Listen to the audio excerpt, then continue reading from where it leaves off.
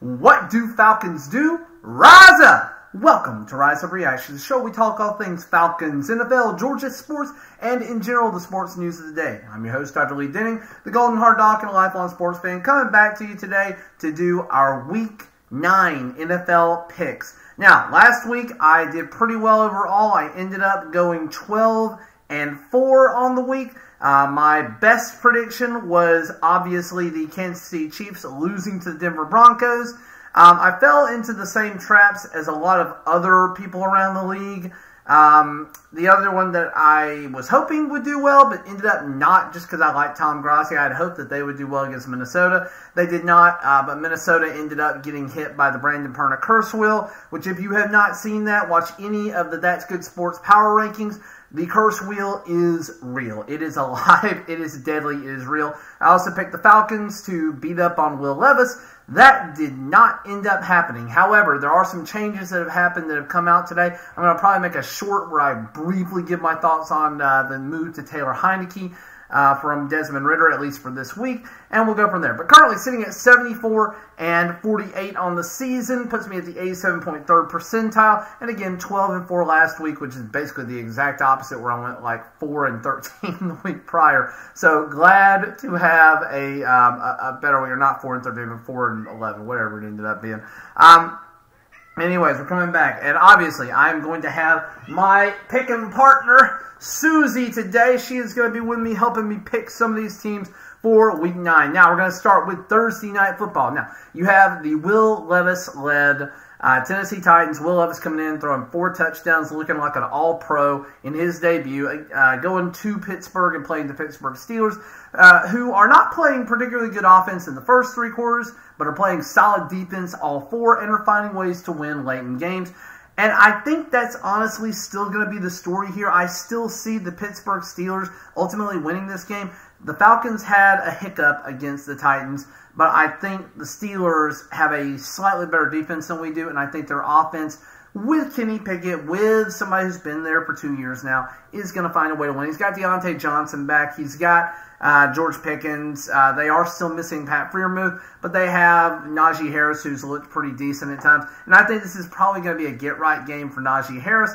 So give me the Pittsburgh Steelers to go five and three at the end of Thursday night. Then we move on to the final NFL overseas game of the year with the Miami Dolphins at the Kansas City Chiefs. Now, Miami Dolphins, again, they are one of the most prolific offenses in the NFL. Their defense leaves a little bit to be desired, but they're still doing a lot right and they're doing a lot to win games. Mike McDaniels has this team going on all or firing on all cylinders right now. Kansas City Chiefs well, you just lost to the Denver Broncos, and you haven't particularly played super well. Now, Patrick Mahomes did have the flu. I didn't know that when I made my pick, and I don't think anybody knew that when I made my pick.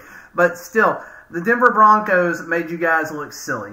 Um, this is a pseudo home game for the Chiefs. It's in Germany, and they are the home team. But it's again, it's just going to be an amalgamation of NFL fans. So this is like a neutral, as neutral of a stadium and as neutral of a game as you're going to get. I personally believe that the Miami Dolphins are going to have a bigger impact. I think they have a better offense this year. Even though Patrick Mahomes is still great, I do think that the Miami Dolphins have a better offense. Defensively, Kansas City Chiefs are better. I don't know what to think here. I really want to say the Miami Dolphins are going to win, so give me the Miami Dolphins here. Then we open up with the 1 o'clock games with the Minnesota Vikings at the Atlanta Falcons. Now, we do know that even though Josh Dobbs just got traded to the Minnesota Vikings, he will not be starting. Justin Jefferson, this is his final week on IR. He will be coming off of IR after this week. So you have Jordan Addison, who's going to be leading the team at wide receiver, um, with, I don't even know this guy's name, Jaren Hall, I think is his name, that they're going to be playing like a, a random rookie who really doesn't have a lot of uh, hype around him. Now, again, I don't want us to look past this because this is a game that I circled early in the year and said this is going to be one of our tougher challenges. That was when they still had Kirk Cousins, and it was when they still had Justin Jefferson. If I want to be very clear, the Falcons, I have them picked to win this game, and so does America. If we can't beat a completely and totally beat up Minnesota Vikings team that is not particularly great on defense, they're okay. They're middle of the road. They're okay on defense. They should not be good on offense. Their running game is terrible. Alexander Mattison has not been anything like he was when he was the backup for uh, Dalvin Cook. If we can't beat this team, it's a bad year. It's it's about we're about to revert. We are at the four and four spot that we were at last year, but we've done it in a more convincing fashion. But it's going to be bad. If we go four and five at the end of this one, it's going to be really bad. Taylor Heinicke is going to be starting for the Falcons. I do ultimately think that's a little bit better for a win now mentality, but it does give me a little bit of sadness for our future, think knowing what we were trying to do with Desmond Ridder, and kind of hoping that we still can maybe. But again, I'll put out a short a little bit later talking about that. Give me the Falcons here. then we have the full blown tank mode Arizona Cardinals trading away their quarterback, and they do have Kyler Murray back going up against the Cleveland Browns in Cleveland. I'm pretty sure that's why they moved on from Josh Dobbs because they do have a healthy Kyler Murray. I'm not sure if he's going to be playing. I'm not sure it really matters though because the Cleveland Browns have probably the best defense in the NFL. Even though again they gave up a lot of points to the Indianapolis Colts, they still have Myles Garrett who is playing like the NFL Defensive Player of the Year. And because of that, I'm going to go with the Cleveland Browns. I think this is going to be a very low scoring affair, but in Cleveland, Give me the Browns. Jerome Ford should be healthy. Uh, Amari Cooper should be healthy. PJ Walker maybe starting it, maybe Deshaun Watson. I don't really care. I'd rather see PJ Walker succeed, quite frankly. But many of you who have followed me for a while know how I feel about Deshaun Watson.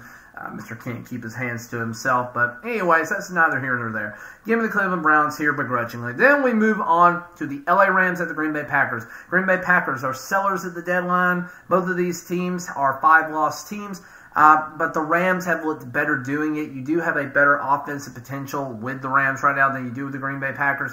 Uh, losing Rasul Douglas at the trade deadline um, to the Buffalo Bills.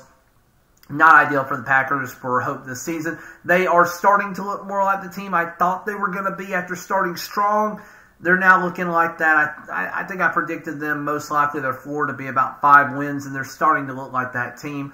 Um, so they're going to be a team that's better in the future, but they got to get their act together. Give me the Rams here. I just like them overall. I think Puka Nacua is a great story. You got Cooper Kupp. Um, they're still going to be without their uh, running back this week, and Kyren Williams. Not sure how Zach Evans is going to fit in there. Uh, not sure who really is going to be running the rock all that well. Darrell Henderson was he's been moved back and forth to the practice squad, so we'll see what happens. Then, but I am going to go with the Rams. Then we go to another one o'clock matchup. We have the Washington Commies at the New England Patriots. Now, I will go ahead and give you guys a, a, a little update here. I made my picks prior to the trade deadline, and I have subsequently rethought that. Um, with the Washington Commies losing both of their supreme, or not supreme, both of their really good edge rushers, uh, Montez Sweat to the Bears, and then Chase Young to the 49ers, I just really feel like their defense is going to be suspect. And the New England Patriots, I know that they're going to have a solid defense overall. Bill Belichick is not going to have this team looking bad from a defensive standpoint. You're talking about a team that has played well against talent so far this year. They did just lose to the Miami Dolphins, but you know, again, beat the Buffalo Bills. I think the New England Patriots at home against a diminished Washington team that's very obviously looking towards the future.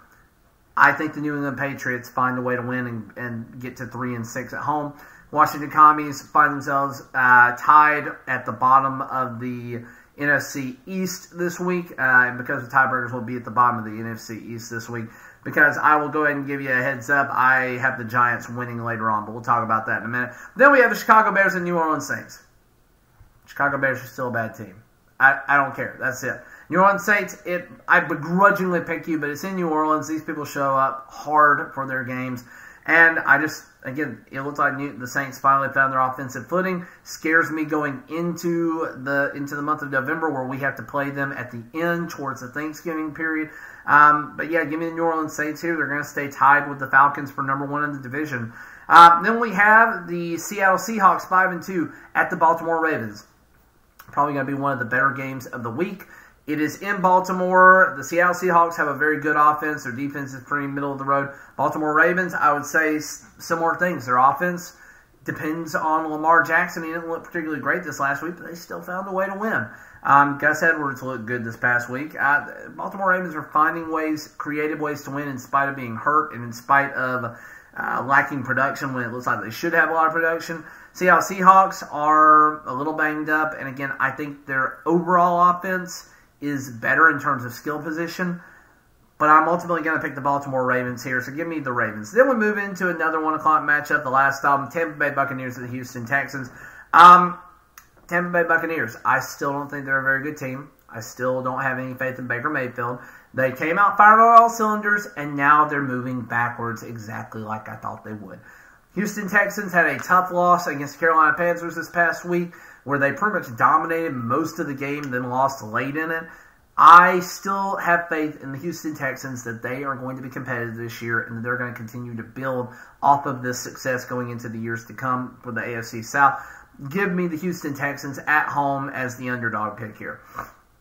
Then we have the Indianapolis Colts, 4 o'clock game at the Carolina Panthers. Carolina getting their first win. They did not go 0 7. They did. They're not going to be the first winless team in the, in the 17 game era. Um, Indianapolis Colts playing above their station, but still not finding ways to win. Their defense is quite suspect. But you don't have to have a particularly great defense when you're playing the Carolina Panthers. I'm just being real honest right now. In the future, that could change. But right now, Gardner Minshew and Jonathan Taylor and Pittman and all the weapons that they've got on offense should find a way to beat the Carolina Panthers, even though it's at home. Give me the Indianapolis Colts. Carolina Panthers will keep it close, but I do think the Indianapolis Colts ultimately win this one. Then we go to the New York Giants at the Las Vegas Raiders. Now, again, before the trade deadline and before Tuesday night, had the Raiders picked in this one because it's in Las Vegas. They are beating up on teams that are generally bad, but they just lost their head coach and they lost their general manager in the middle, not even to the midpoint of the season. So, with that in mind, I have zero faith that they are going to be able to put together a cohesive game plan. They'll probably surprise me, and they'll probably win this game. But I believe the New York Giants, even though they're a bad team, even though they're not good, are going to find a way to beat the Las Vegas Raiders, who have now lost their coach and their general manager. That's just my thought. Give me the New York Giants. They stay, or they they move from the bottom to third place in their division.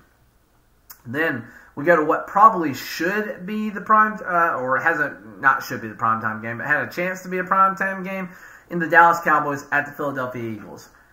Dallas is a tale of two teams, and I've got no idea which one's going to show up. They are either firing on all cylinders and doing really well, or they are just shitting the bed in every way possible, and Dak turns into a turnover machine. Philadelphia Eagles have one hiccup and have otherwise looked like a pretty good team overall. Um, they were very dominant this last week with that, and it's in Philadelphia. I'm going to go ahead and probably plan, unless something happens for the Eagles at Cowboys later in the season, I'm probably going to split these guys and say that each one gets a win at home because of that, because it's at home, and really for no other good reason, because I do think these teams are going to be fairly evenly matched.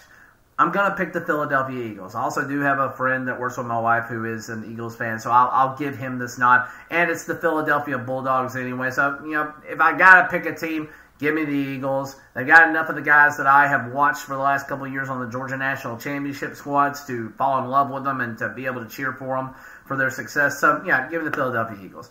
Then we move into prime time Sunday night. The Buffalo Bills at the Cincinnati Bengals. Bengals coming off of a four game win streak with again, this is another one of my good ones from last week. I picked the Bengals over the 49ers. It was under 25% when I made that pick. We're picking the Bengals. I'm telling you, they have found their footing. They figured out what was wrong. You now have Joe Burrow, who's healthy. They have found out what is wrong, and the Buffalo Bills are just barely finding ways to win. I have zero faith in the Buffalo Bills right now. Even making good trades at the deadline, I just don't have faith in them. I think the Buffalo Bills are going to come out of this being five and four and are going to be in panic mode. I think the Cincinnati Bengals are a better team right now, just in terms of cohesion. I don't know the defense is better. I think you have a better offense in Cincinnati and a, and a better defense in Buffalo. But again, I, I don't know who's going to show up here. I, I don't know if the Buffalo Bills, if the Buffalo Bills play up to their full potential, they should win this game. I don't think they're going to do that. They're not doing it right now. Something is wrong with the Buffalo Bills. I don't know what it is, but something has looked wrong with them since their butt whooping of Miami um, earlier this season. I don't know what it is, but they got to get right. But this week I'm going to pick Cincinnati Bengals. Then we have the Monday night primetime game. The LA Chargers looking to get to 500 against the slightly over 500 New York Jets, Jets, Jets, Jets. Now again, Jets are looking good predominantly because of Breece Hall's ability to make plays, because Garrett Wilson is a special talent, not because Zach Wilson is a particularly good quarterback. Their defense is also top five in the league. With that in mind, the Chargers have a middle of the road defense, and when they're firing on all cylinders, have one of the better offenses in the league. I just really feel like the Chargers are still somewhat in a panic mode. They did win this last week pretty convincingly. But I still feel like they are we gotta win mode. Absolutely have to win to stay alive. Jets have done better than I thought they would so far without Aaron Rodgers. If Aaron Rodgers was playing this game, I would probably give it to the Jets. But because he's not, because he's hurt, because I have more faith in the offense of the Chargers, I am ultimately going to pick the LA Chargers to win this game. Also, you've got Josh Harris, friend of the channel, on that show. I would love to have Josh on sometime. He and I have talked about doing that in the past, but then I, I just ran out of time and uh, we couldn't ever coordinate anything. It's hard to do that on the uh, when we're on opposite coasts.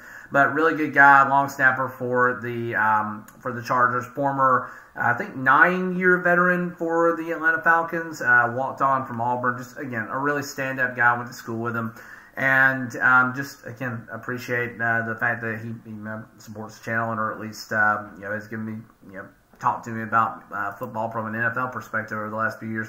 Um, but thank you guys for watching, liking, sharing, and subscribing. The goal is still trying to get to 500 by the end of the season. I'll go ahead and tell you, I'm not on pace to do that. I would like to get on pace to do that. Uh, any subscriptions that you're willing to drop down on me, they, they help. It doesn't cost you a single thing, and it helps me reach more people, helps me get more content out. But thank you guys to those of you who have. We've got 187 of you so far. It means the world to me. Um, that's all I got for you today. I'm feeling much better, and hopefully these picks work out. But as always, rise up.